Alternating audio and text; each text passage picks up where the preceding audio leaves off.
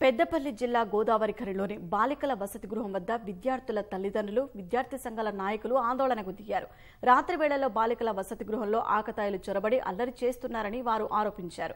బాలికలు ఫిర్యాదు చేసినా ప్రిన్సిపల్ పట్టించుకోవడం లేదని మండిపడ్డారు. పోలీసులు వసతి గృహం వద్దకు చేరుకుని రక్షణ కల్పిస్తామని భరోసా కల్పించారు. తక్షణమే వసతి గృహంలో సీసీ కెమెరాలు కంచె ఏర్పాటు చేసి రక్షణ కల్పించాలని విద్యార్థి సంఘాల నాయకులు డిమాండ్ చేశారు.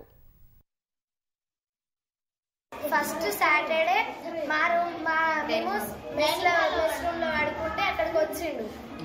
వచ్చి ఒక ఆమె జుట్టు లాగి ఉరికిండు ఆమె వేసేసరికి. మేడం చెప్పిల్లా? చెప్పి మేడం ఏమన్నారు? దాదాపు నెల రోజుల నుండి కూడా ఒక అజ్ఞాత వ్యక్తి మూడు నుండి ఆరు గంటల ప్రాంతంలో వచ్చి విద్యార్థులను భయభ్రాంతులకు గురి చేయడం జరుగుతుంది. ప్రిన్సిపల్కి కానీ కంప్లైంట్ చేస్తే వాళ్ళు పట్టించుకోలేదు. తక్షణమే దీని మీద ఎంక్వైరీ కమిటీ వేయాలి. స్కూల్ సరౌండింగ్ కూడా కెమెరాలు ఏర్పాటు చేయాలి. ముళ్ళ కంచె ఏర్పాటు చేయాలని కూడా డిమాండ్ చేస్తూ ఉన్నాము. వెంబడించాము కానీ మేము పట్టుకోలేకపోయాం పారిపోయారు వాళ్ళు. నిన్న ఉదయమే వాళ్ళు వచ్చినప్పుడు కానిస్టేబుల్స్కి మీరు జరిగిన విషయం చెప్పాను